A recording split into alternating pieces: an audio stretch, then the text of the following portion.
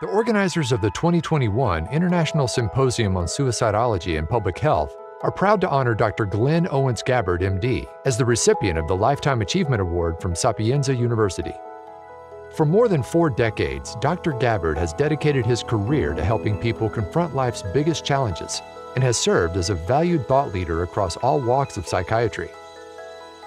His whole person approach to psychiatric treatment has inspired countless individuals and provided a model for integrating environment, personal history, and brain physiology to foster well being.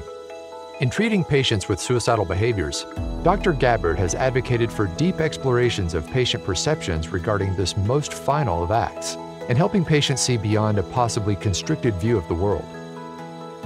Dr. Gabbard earned his MD from Rush Medical College in Chicago completed his psychiatry residency at the Karl Menninger School of Psychiatry in Topeka, Kansas, and served as director of the Menninger Hospital, as well as director of the Topeka Institute for Psychoanalysis.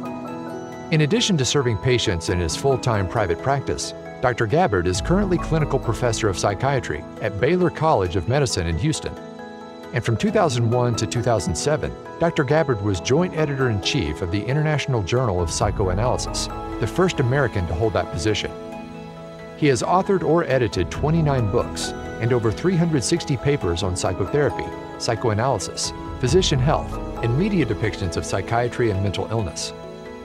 We thank Dr. Gabbard for his lifelong dedication and wish him continued success in his practice and in life.